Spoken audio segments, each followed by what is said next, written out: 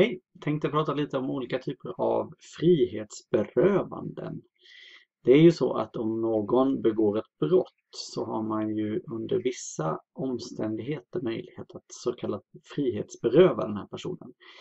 Eh, eller rättare sagt om någon är misstänkt för ett brott. Vi vet ju kanske ännu inte vem som exakt har gjort det men om, om vi har en misstänkt i alla fall så kan man under vissa omständigheter då frihetsberöva. Och frihetsberöva det betyder ju att man beröva någon frihet. Betyder alltså helt enkelt att man på något sätt tar någon i förvar, låser in någon. Eh, så. Och, eh, vi ska titta lite på eh, både hur man kan hitta information om det här, om olika typer av frihetsberövande, men också hur man kan hitta lite information ifrån lagen. faktiskt.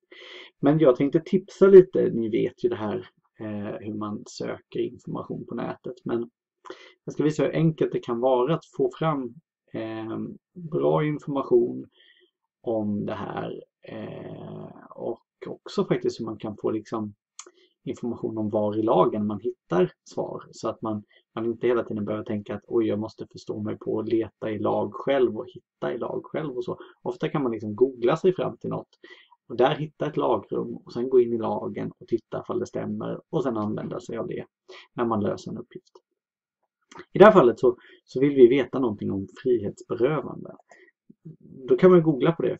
Frihetsberövande.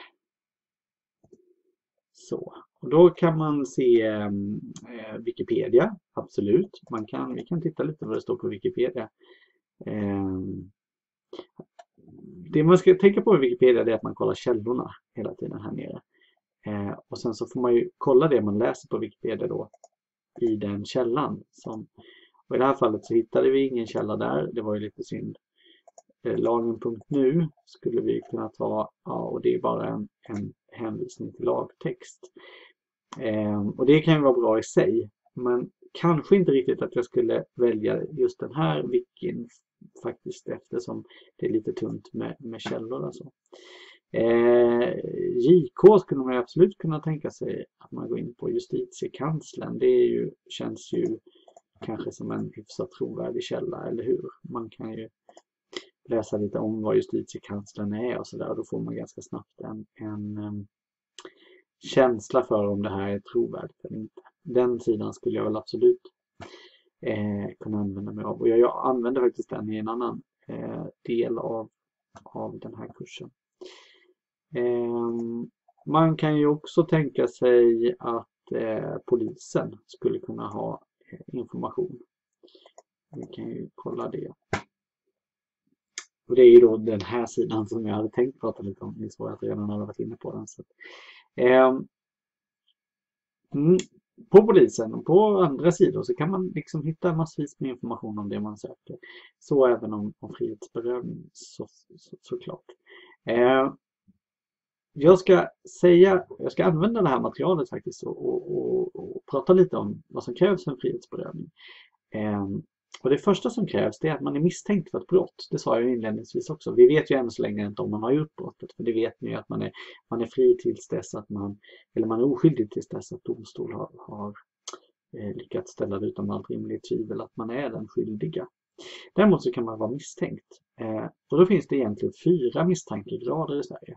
Det här eh, har vi tre, oj, har vi tre stycken. Eh, skäligen misstänkt, på sannolika skäl misstänkt och tillräckliga skäl misstänkt. Och det är för att det är de tre misstankegraderna som är relevanta för det här med frihetsberövning. Det finns faktiskt en tidigare här, man skulle kunna lägga in en första, första eh, misstankegraden heter faktiskt kan misstänkas. Men den misstankegraden är så, så låg så där får man inte vidta några tvångsmedel som till exempel en frihetsberövning eller husrannsakan eller sådär. Det kan man inte göra på, på den svaga misstankegraden kan misstänkas. Däremot så kan man uppgradera då misstankegraden till till exempel skäligen misstänkt.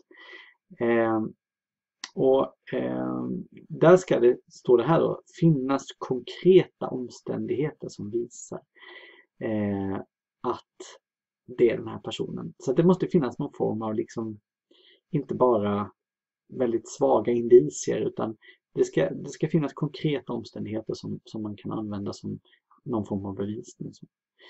Och sannolika skäl är en högre misstankegrad. Eh, och ehm, det kan uppgraderas också beroende på bevisningen i, i fallet. Så jag går inte in på så väldigt detaljerat på exakt vad som skiljer dem åt. Jag kan inte exakt vad, liksom hur, hur, hur man går tillväga när man kommer fram till det här. Eh, men, men eh, det ska mer bevisning till helt enkelt.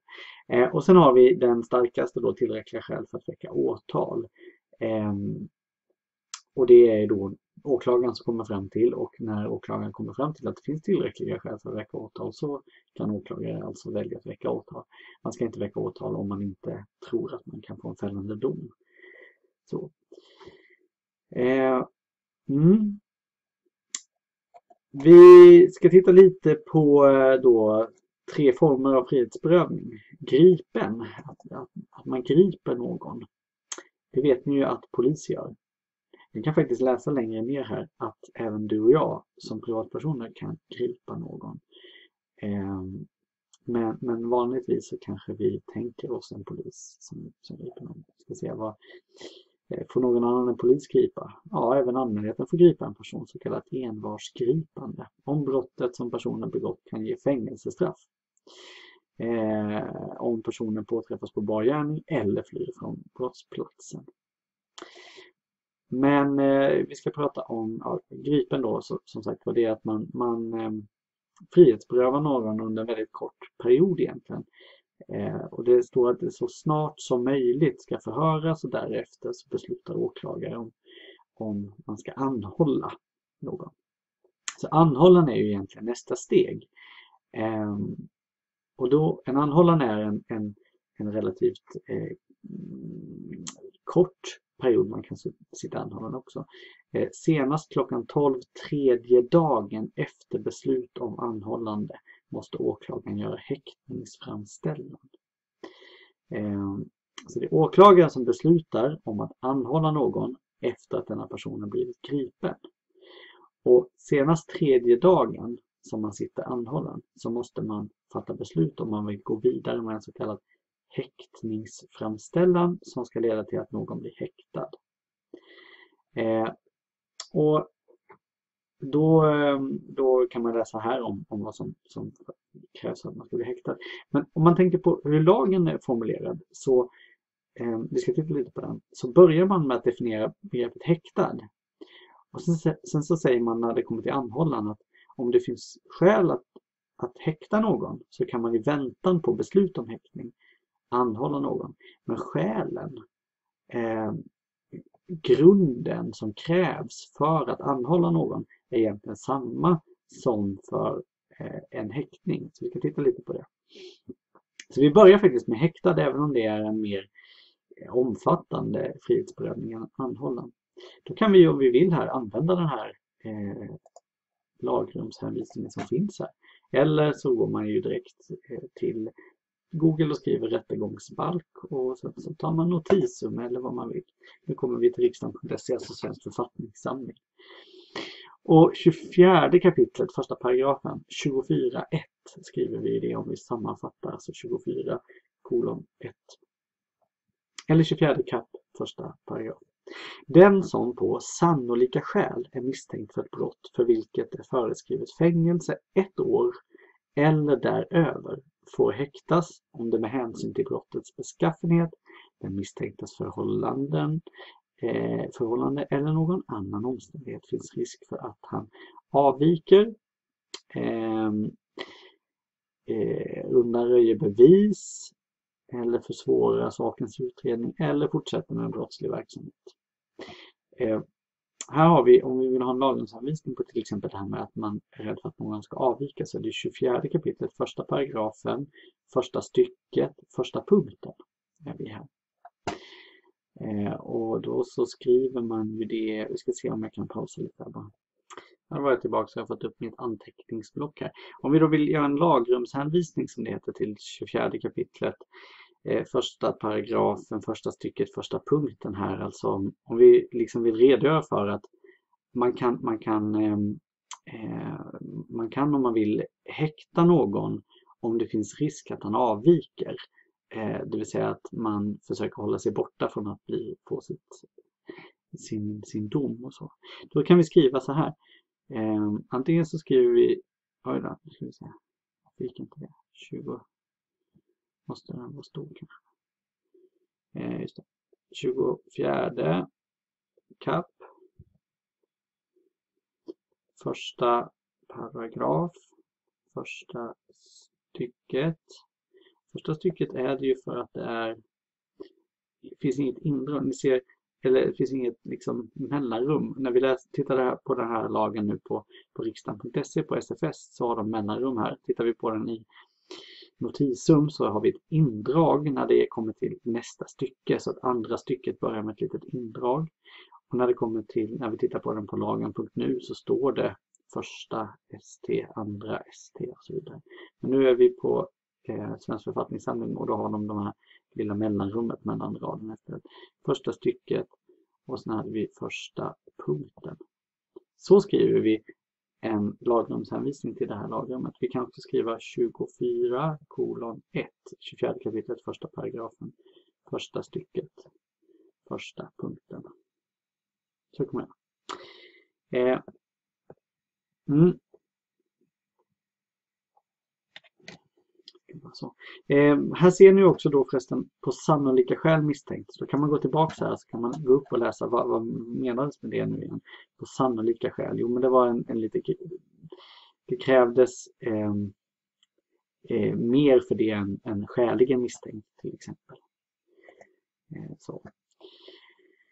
Eh, ja och just det, jag sa det här innan om att eh, anhållan kommer senare i 24 kapitlet än häktning.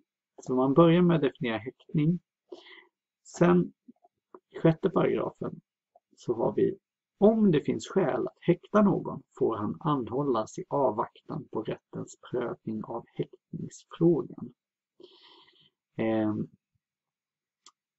så att här skälen ska vara de samma, det vill säga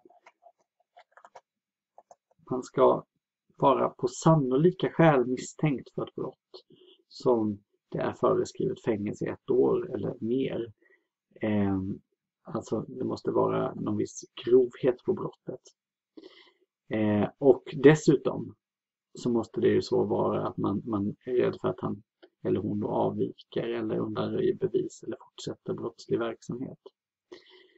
Eh, så, så skälen som krävs för att häkta någon är egentligen detsamma, bara att man hinner inte med att göra eh, häktningsframställan och prövning av fall häktning ska komma i fråga eller inte. Så då i väntan på det ska man anhålla någon som sagt var. Och då måste man alltså inom tre dagar eh, sen begära häktning. Ehm, här finns i andra stycket finns inte fulla skäl till häktning men den misstänkta skäligen misstänkt för brottet får han anhållas om det är av synnerlig vikt att han tas i förvar i avvaktan på ytterligare utredning. Jag kan inte i huvudet nu komma på något bra exempel på när det är aktuellt men ehm, mm. Ja, det blev lite rörig lektion kanske men det var ett sätt för mig att visa att det ofta är ganska enkelt att hitta information, trovärdig information Ehm, eh, från angående begrepp och så som vi har i, i den här kursen. Och eh, var noga med att kolla era källor. Alltså i det här fallet så är det ju lätt. Vi kan läsa någonting här och sen kan vi gå till lagtexten och kolla källan direkt där. Vi såg även i, i eh, eh, Wikipedia eller Wikin där nyss. Där kanske jag egentligen då tänker att det är bra med flera källor. Där, där funkade bara en av källorna. Och det var ju direkt i lagtexten så det är visserligen en trovärdig källa så. Men, men eh, man kanske kan hoppas på lite fler källor när det kommer till just Wikipedia. Annars är det ett superbra sätt att hitta information också. Men kolla källorna som sagt. Eh, Polisen som sagt var ett exempel om ni vill veta mer om det här med gripen, anhållande och häktning och så, så är det superbra. Man kan få jättemycket information på polisens hemsida. Bra. Ja, det var nog det. Lagrumshänvisningar, alltså om ni ska lösa problem kopplat till det här med att frihetsberöva så hittar ni det i 24 kapitlet i rättegångsbalk. Bra, hej!